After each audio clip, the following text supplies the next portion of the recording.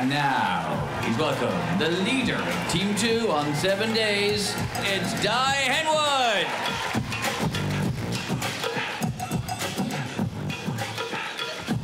So, sorry, I'm, I'm, I'm trying to get shredded for Rhythm and Vines. And I'm, I know it's a long way out, but I've got body image issues and I've only been working my glory muscles. And I, I, I got rid of the muffin top, but I can't quite get my thigh gap. So I just, you know, when I want to get to a festival, I just want to be shredded. I just want to be like abs, dick, legs.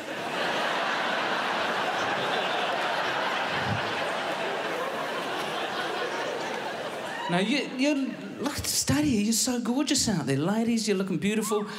Looking beautiful. I got one thing. There's not enough scrunchies going on. What happened to the scrunchie? Everyone's rocking the hair tie. You want to rock a scrunchie, it's a statement. You can base an outfit around a scrunchie, right? A scrunchie, boom, you can rock a high pony, you're doing less damage to your hair follicles. You look after yourself, man. Also, I went to the zoo. There's, there's palm oil in hair ties. Palm oil's bad. They gave me a pamphlet at the zoo. It makes orangutans cut down the rainforest or something. I, I didn't read the whole pamphlet, but palm oil's not good and it's in your hair ties. So get the scrunchie on, because also you reuse the scrunchie. Hair tie, ladies, you put a hair tie on, eh? Because you bought a barrel of them or whatever, eh? You pop, put a hair tie on, it's gone. You don't pick it up, eh? Just back into the barrel for another hair tie. I lift up a teaspoon in my house and there's four bloody hair ties under it. right, now, I'm here to give you a wee bit of advice tonight. If you want to stay together with your partner, for the rest of your life, you have to remember one thing always be just as drunk as each other. never be more drunk, never be less drunk.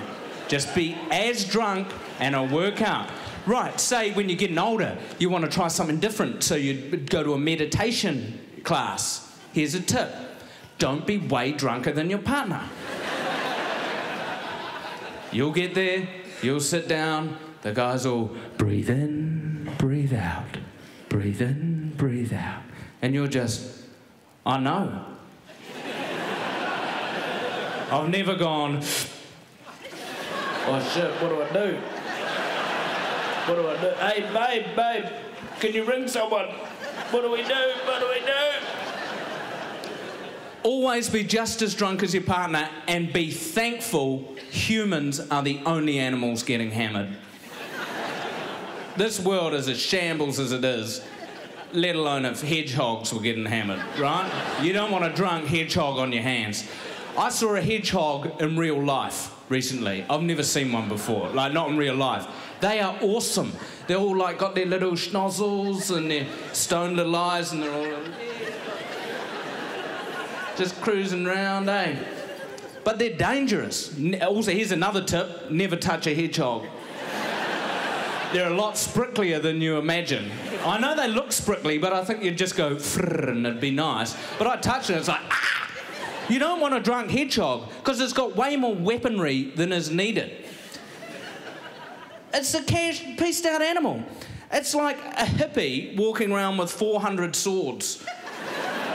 going, I don't want to fight, but if you attack me, I'll roll into a sword ball and cut your face off.